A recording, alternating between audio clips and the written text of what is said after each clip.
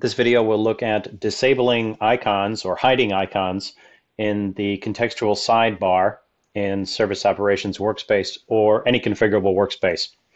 Um, so let's say for some reason, um, you know, out of the box, we get uh, what five different um, icons in here. Um, record information. This is Agent Assist, Experts on Call, attachments, and templates. Um, so let's say for whatever reason you want to hide some of these. Maybe you're a small shop and you don't use experts on call and you just want to get rid of it to avoid confusion. Or maybe you have no articles and you're not using knowledge base and you want to hide uh, agent assist for whatever reason.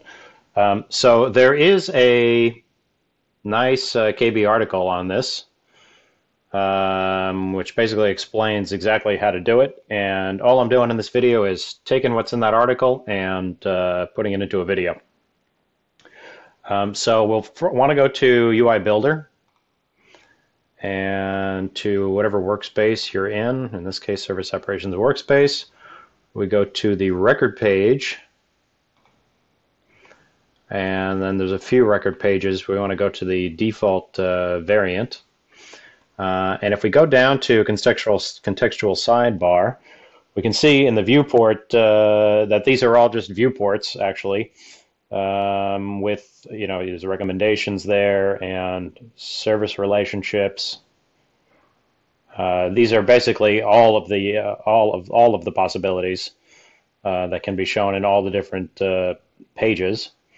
And there is a thing for adding additional ones, but there's nothing to remove. Uh, so to remove, you have to go to the actual record in the, in the platform. So we go to Developer, Open Page Definition, which actually doesn't open the page, it opens the variant. Um, and now we're in the variant, so this is actually interesting stuff here, maybe a subject of another video. Uh, if we can see actually the, the JSON behind you know everything we do here graphically. Uh, but that's an aside, that's not what we're looking at today. Uh, so here in the related lists, uh, we go to child screens, and this is where our different um, um, icons uh, show up in the contextual sidebar. So let's say in this case it's Agent Assist that I want to hide. So I click into here, and this is in the core. So we'll just uh, do that. And uh, so there's two ways you can do this. First of all, you can play with the screen condition. So this is showing when the parent table is incident or problem or problem task, whatever. So you can just remove the tables that you don't want uh, it to show in. Or if you just never want to show it, uh, just uh, deactivate it. So let's do that here. Deactivate, we'll go back here and do a refresh.